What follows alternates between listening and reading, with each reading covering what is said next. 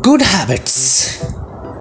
I used to wake up in the morning every day. Then I brush my teeth properly and very neatly. After that, I take my bath. I used to wash my face, body, hands, legs so that I become clean. Then I pray to the Almighty, the God, for everything we have. Thank you, God. After that, I used to take my breakfast with my family the healthy foods that keeps me active all the day. And then i used to take the leftovers and the utensils plates cups to the wash basin by myself. And then I used to get ready for my school. And then I leave for my school to reach at time.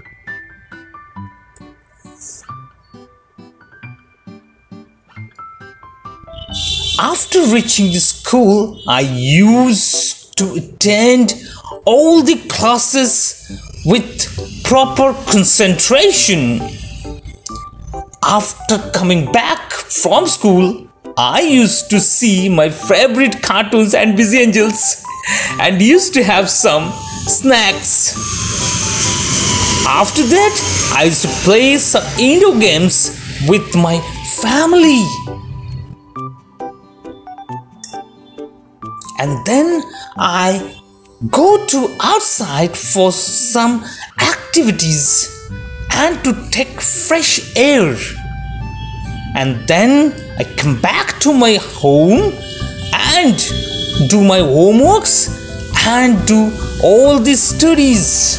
My mom or dad help me figure it out. They help me a lot. And then we used to have quality family get together time. Then we used to laugh a lot. After that, we used to take dinner at the night in a good manner, sitting on a table chair and a table. Then we used to pray to God, the Almighty, for everything and to bring light in our life.